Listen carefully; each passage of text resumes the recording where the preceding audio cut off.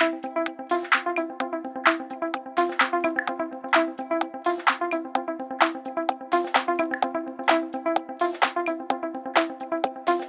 everyone, I'm Pranoti Hiremath. I'm here after the late breaking trial of ischemia with Dr. Roxana Mehran. Dr. Mehran, we are here to ask you what your main impressions of the trial are, how it will impact your clinical practice, and also what you see for the future in terms of trial follow up. Well, first of all, uh, it was thank you for having me, and I love Fits on the Go, so thank you for that. Uh, and uh, Today was a historic day. I think we finally got to see the results of the ischemia trial, long awaited, over 4,000 patients randomized with stable ischemic heart disease, uh, moderate ischemia, and um, uh, somewhat angina, not a lot of angina, but somewhat not refractory angina, but stable ischemic heart disease.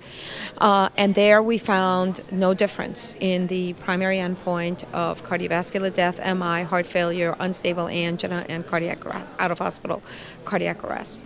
And no difference in death and MI. There was an important divergence of the curves that I think is very, very important to note, especially given that it was myocardial infarction reduction, spontaneous myocardial infarction reduction over time. And so I really think the long term follow up is going to be crucially important. The quality of life was dead on. It was perfect. It was a complete resolution of angina for patients in the invasive uh, arm.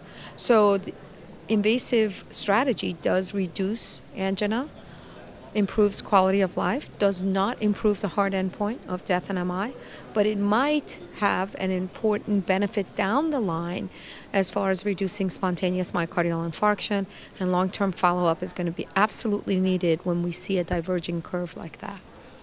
Thank you very much, Dr. Mehran. For more videos like this, please go to youtube.com slash fitsonthego.